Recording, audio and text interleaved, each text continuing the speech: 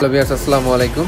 আশা করি সবাই ভালো আছো আর তোমাদের দোয়াতে আমি অনেক অনেক ভালো আছি। আর ভিউয়ার্স, আজকের ভিডিওটা কোথায় হতে যাচ্ছে তোমরা থামলেন এবং টাইটেল দেখে অলমোস্ট বুঝে গেছো। তো আজকের ভিডিওটা হচ্ছে বাংলাদেশ পুলিশ মুক্তিযোদ্ধা জাদুঘর। তো বাংলাদেশ পুলিশ মুক্তিযুদ্ধের যে অবদানটা রেখেছিল, তার কিছু ইতিহাস এখানে সংরক্ষিত আছে। তো সেই জিনিসগুলো তোমাদের সাথে আমি শেয়ার করব।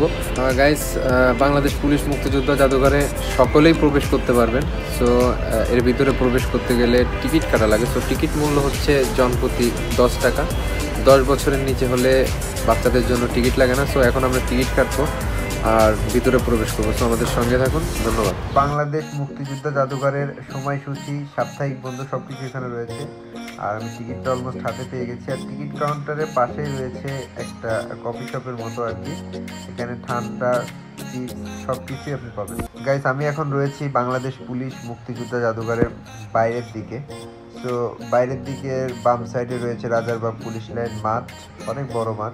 আর সাইডটাও অনেক মানে এখানে দর্শনার্থী বসার জন্য বসার জায়গা করেছে। আর বাইরে থেকে ভিউটা অনেক সুন্দর লাগতেছে। আর এখানে কিছু চিত্র আকৃতি করছে। আর এটা হচ্ছে রোডের সাইডটার ক্যানেল মতো আর কি। সাইড দিয়ে উপরে যাওয়া যায়। আমি এখন আপনাদের যে জিনিসটা দেখাতে যাচ্ছি, সেটা হচ্ছে একটা মিনার। তো এই মিনারটা উনিশশো একাত্তর সালে যে সকল পুলিশ সদস্য তাদের বুকে তাজা রক্ত ঢেলে দিয়ে শহীদ হয়ে গেছেন, তাদের স্মৃতি স্তম্ভ হিসেবে এটি দাঁড়িয়ে রয়েছে।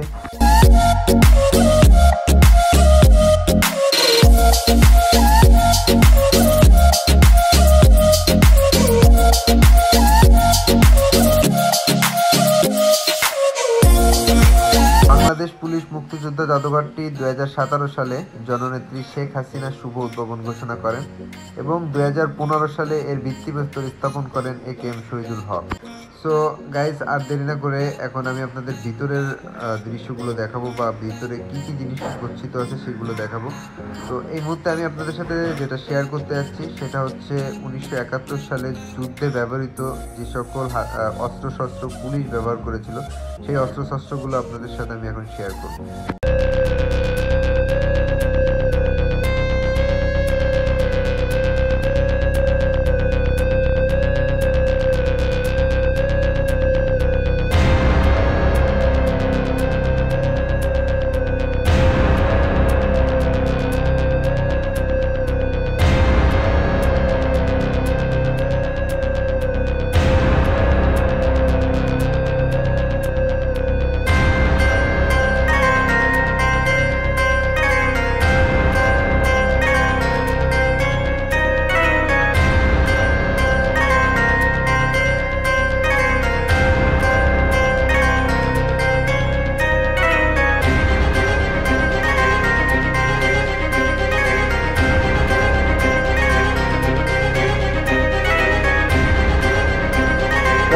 রুমের ভিতরে হচ্ছে উনিশশো একাত্তর সালে পুলিশের যে অবদানগুলা, তার একটা প্রবন্ধ চিত্র দেখানো হয়, এটা আপনারা সপরিবারেই দেখতে পারবেন। আর এখন আমি আপনাদের সাথে যেটা শেয়ার করতে যাচ্ছি, সেটা হলো বাংলাদেশ পুলিশের যে সকল সদস্য উনিশশো একাত্তর সালে শহীদ হয়েছেন, তাদের ব্যবহৃত জিনিসপত্র এখানে গচ্ছিত আছে। সো এইগুলো আপনাদের সাথে আমি এখন শেয়ার করব।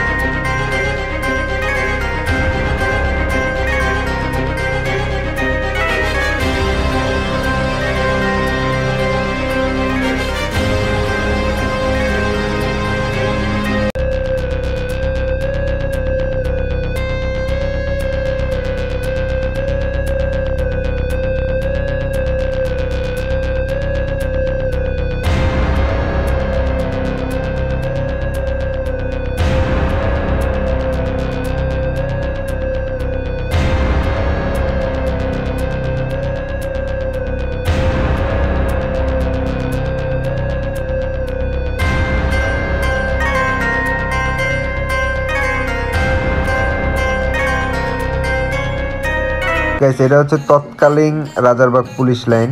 আর এখান থেকেই প্রথম স্বাধীনতা যুদ্ধের প্রথম প্রতিরোধ গড়ে তোলা হয় ঠিক এই জায়গাটা থেকে। এছাড়াও এর ভিতরে রয়েছে হচ্ছে রাজশাহী পুলিশ লাইন, এখান থেকেও যুদ্ধ প্রতিরোধ গড়ে তোলা হয়। আর তাছাড়া রয়েছে চিটাগং পুলিশ লাইন।